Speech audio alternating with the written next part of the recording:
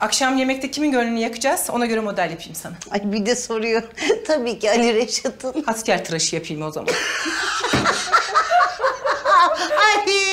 Ay Ali Reşat. Anladın Neriman?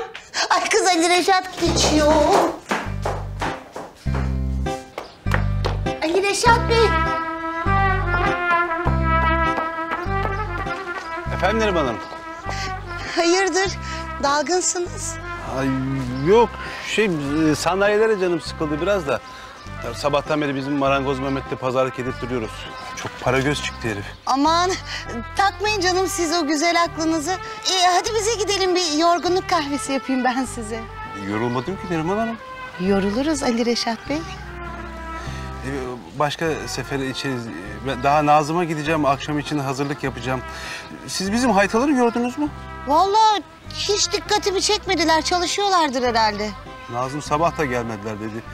Bir hatlar çeviriyorlar ama Aman hiçbir çeviremez onlar. Vallahi ihtiyar ruhlular. Biz 20 yaşımızda öyle miydik Ali Reşat'cığım? ha? Hatırlayın. Ne kapı önü oynaşmaları, ne eve sevgili atmacalar. ben pek öyle değildim ama sizin maşallahınız varmış yani. Ay hadi canım oradan. Sizin de gençliğinizi biliyoruz Ali Reşat'cığım. Ee, ha ben bu arada kuafördeyim. Ee, istediğiniz özel bir model varsa... Yok canım yani saç sizin baş sizin ben ne isteyeyim yani.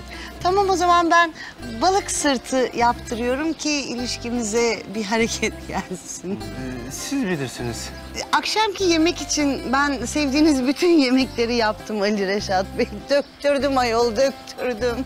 Ellerinize sağlık e, zahmet olmuş. Ben artık gideyim akşam yemekte görüşürüz. Görüşelim.